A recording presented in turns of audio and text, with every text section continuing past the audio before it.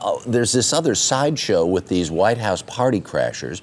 They denied, did not go, end up going to the hearing they were called to that they got invited to yesterday. And there's this other issue then of wanting Desiree Rogers to come and testify. Is this a tempest in a teapot, or does this, or, or does this continue to fester and grow? Uh, it, it, no, I don't think it's a tempest in a teapot because, and here's why, Harry. Uh, I think the government ought to prosecute these people, and if that means sending them to jail, so be it.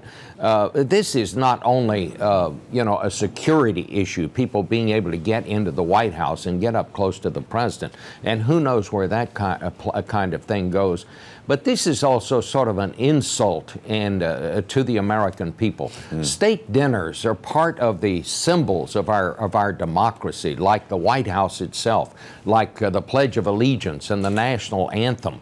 Uh, and when people are are making fun of those things, when they're uh, doing what these people did, that's an insult to all of us. Mm. And uh, I, I hope the government continues to prosecute this, and if it require, if these people go to jail, uh, that'll be just fine with me, frankly. Bob Schieffer, thank you so much. We will look forward. Strong letter to follow. yeah, hold back next time, Bob. All right. A reminder that uh, you want to watch Bob Schieffer and Face the Nation on Sunday. He will be interviewing Secretary of State Hillary Clinton and Defense Secretary Robert Gates.